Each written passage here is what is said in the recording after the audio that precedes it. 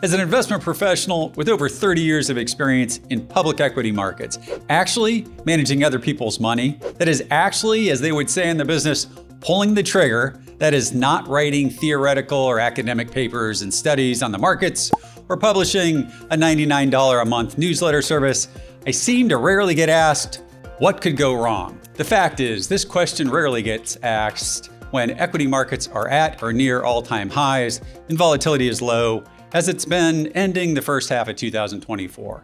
Outside of Troy Sharpe, our founder, I can probably count on two hands the number of times I've been asked that question the last six years by an investment prospect when the markets are up and to the right. That's when investors' brokerage accounts are at new highs. That's when their net worth hits new highs. And that's when many people are marking to market their net worth to new highs almost on a daily basis. That's when emotional greed trade is hard to resist. I'm worth 2500 or 25,000 more this month than last month. That's a common mentality that I've seen kick in.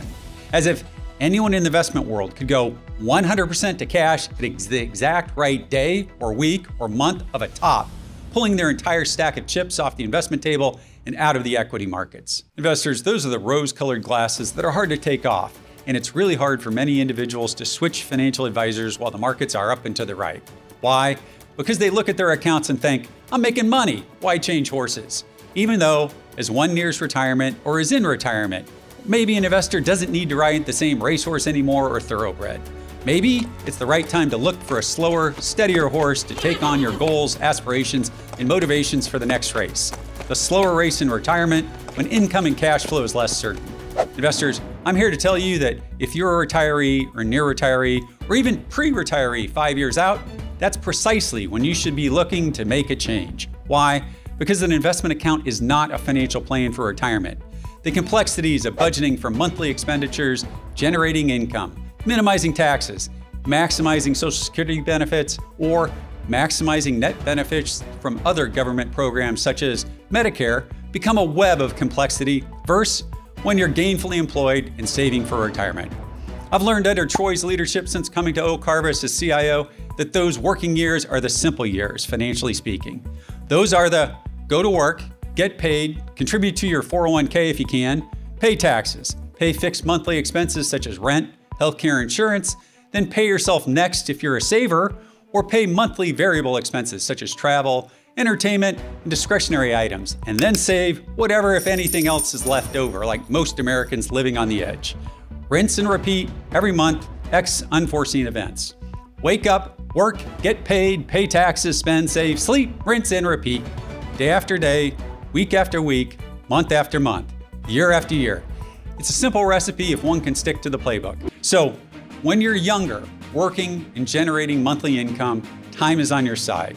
You don't and shouldn't have to contemplate thinking what could go wrong that often in the economy or stock markets.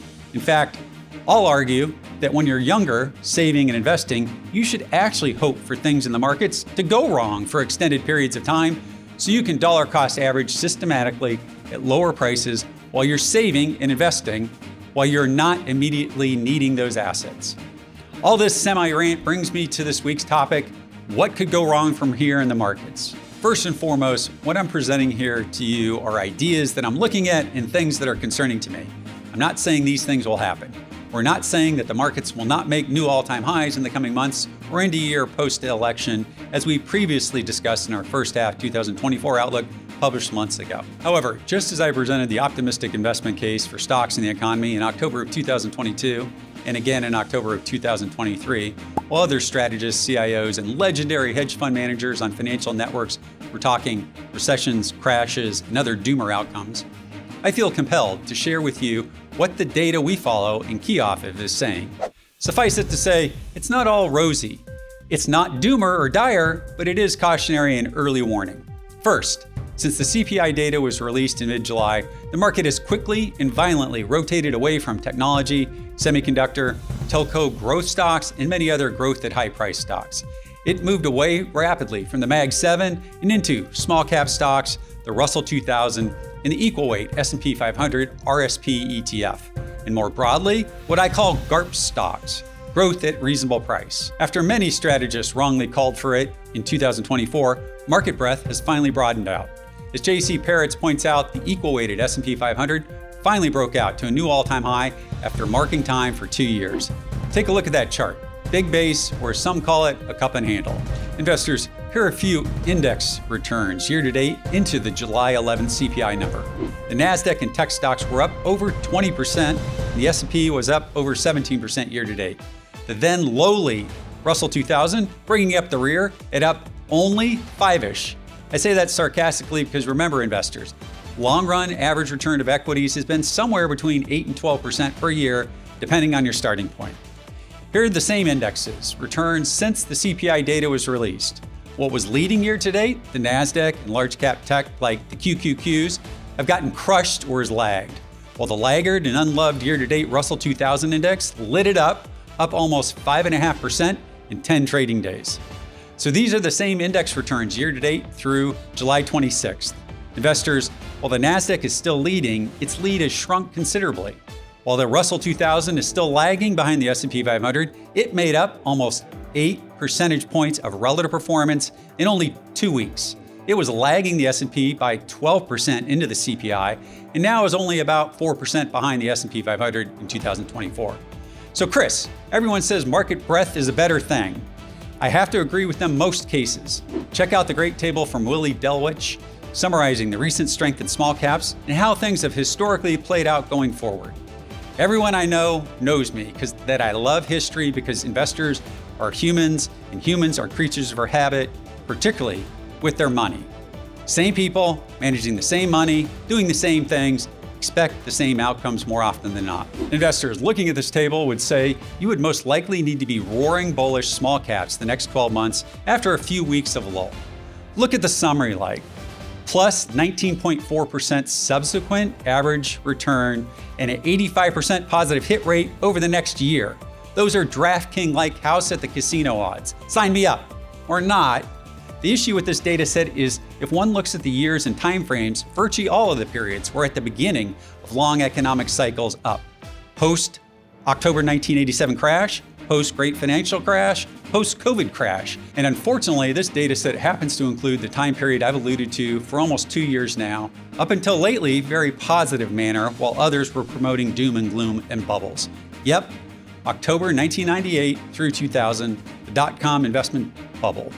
In fact, as of this table shows, one of the worst time periods for small cap stocks came after the rally that started in June of 2000, about the same time we just had our big small cap rally.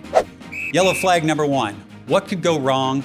We could continue to trade in a very similar pattern at both the index level, sector level, and single stock level as 2000. Yep, late in the economic cycle of the first wave of the internet build out. And while value, GARP, and small cap stocks did okay the second half of 2000, we all know what happened to the overall market in the NASDAQ and tech names after August of 2000, into year end, and post election 2001. Secondly, what could go wrong? The Federal Reserve has done a great job at getting inflation to come down back towards 2, 2.5%. However, ex government job, the job market is weakening. A weakening jobs market, as represented by initial jobless claims, is a big, big warning sign for the economy and stock markets looking out a few quarters. Check out the chart from Game of Trade showing the historical correlation. This is a big yellow flag warning from this data set for the fourth quarter of 2024 and 2025 for equity stock returns if jobless claims keep heading up. Third, what could go wrong? A faster economic slowdown at both the consumer and corporate investment level into the fourth quarter due to increased uncertainty of the election and political outcomes in DC. Investors, nine times out of 10, I tell investment prospects and clients that worrying about political strife or investing based on your political biases is a great way to lose money or keep yourself out of the stock markets. I ran the stock market return numbers for a video a few weeks ago the total return to the S&P 500 from election day in 2016 when Donald Trump won the vote through summer of 2020 versus election day 2020 when Joe Biden won through the current highs in the S&P 500 nearly identical returns near 80%. I have to dig up the data but under both presidents wildly different policies, different deliveries, different focuses on the market themselves, nearly the same stock returns at the index level in the S&P 500. So Chris, why the possible deviation from your normal pay no attention to the men and women behind the political curtain? Well, looking back in time, economically and politically speaking, the current environment data keeps reminding me a lot of 2000. The Fed had aggressively raised interest rates in 1999 and 2000, but they were slow to act in the second half of 2000 as the economy rolled over. Here's an excerpt from the June 2000 FOMC meeting. The incoming data were suggesting that the expansion of demand might be moderating toward a more sustainable pace.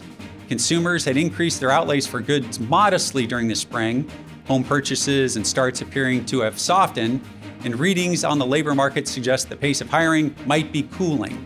Moreover, much of the effects on demand of previous policies firmings had not been fully realized. Financial market participants interpret signs of economic slowing as suggestion that the Federal Reserve probably would be able to hold inflation in check without much additional policy firming.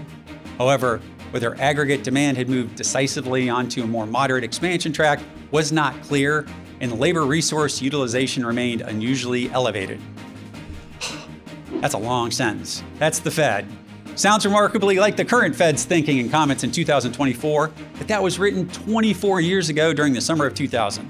Yes, it currently appears the Fed is more aware of the slowing economic environment and worsening labor markets than in 2000 it still seems apprehensive to take easing action, lest they ruin their reputation again.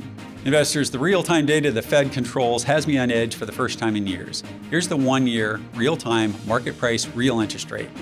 Given short term market one year inflation break even rates, it currently is trading over 4%. Both prior times this rate was this high, both led to very bad 12 to 24 month outcomes for the overall equity markets. Investors, this is the real time bond market saying the Fed's too tight. Take a look at the longer term, five year, real time, real interest rate chart dating back those two periods. It gave a warning signal to the Fed was too tight in late summer of 2000 and late summer of 2007. Now take a look at the same five year real rate chart today. It's toppy looking to me. At first, lower real interest rates are a good thing. It lifts almost all equity boats usually, until it isn't. At least that's the way it played out pre QE and other extraordinary Fed policies that were put in place in 2009 and currently extend into now. Recall investors in 2000, it was a rollover in economic growth, followed by lower confidence and investment in the second half of 2000 that was amplified by a hotly contested results from the November 7th, 2000 presidential election, whose outcome dragged on until mid December due to the hanging Chad controversy in Florida. So, investors, that's my take on what could go wrong beyond the summer of 2024. Do I have a strong conviction in this negative outcome? No, not currently. But as I've said for 18 months now, I think I've seen this show before, and while the first three acts of the play are fantastic, not sure what the hand the Fed and the markets will deal the next president of the United States, regardless of who wins. It didn't matter in 2000, and it didn't matter in 2008. The script was already set by Federal Reserve monetary policy that, as Milton Friedman first said, operates with a long and variable lag.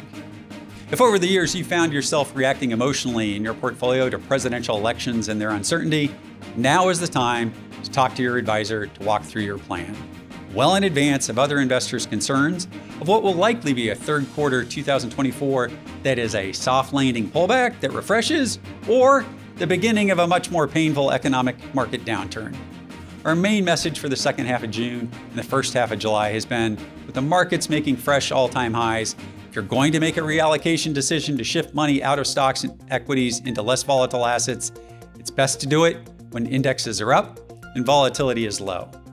Over the last few weeks, investors have seen a rapid uptick in volatility and a quick drop of about 5% in the S&P 500 and upwards of 20% on many Nasdaq tech stocks. Looking out into the second half of 2024, our team is expecting more of this, including some strong rallies, one of which is likely forthcoming. These rallies will likely make investors feel great and exhale while they're in process. However, that shouldn't change your actions of contacting your advisor and walking through your financial plan to see how you and your financial plan might fare just in case what could go wrong does. If you're uncomfortable with a wider range of possible equity outcomes, the Oak Harvest team has just launched a new strategy that retains the ability to go long stocks, short stocks, as well as buy partial hedges and shock absorbers for a stock portfolio. Information on this new strategy of ours can be found at oakharvestfunds.com. From the investment team, Charles, James, Dwayne, myself, and the production team, Eric, Anya, Corinne, thank you and have a great weekend.